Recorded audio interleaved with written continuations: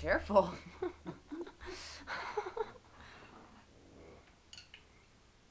Good thing Dada was right there, huh? Hi, Dada.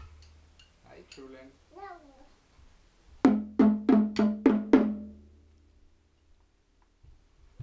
That's pretty good.